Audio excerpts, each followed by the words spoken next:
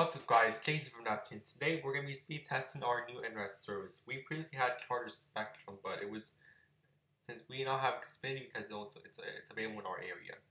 We have recently moved to a new state, so let's start this.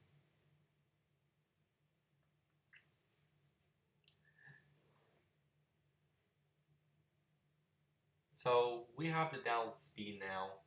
Oh, it's being tested.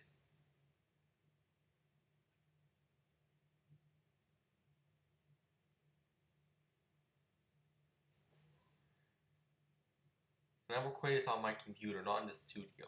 Now we have the upload speed.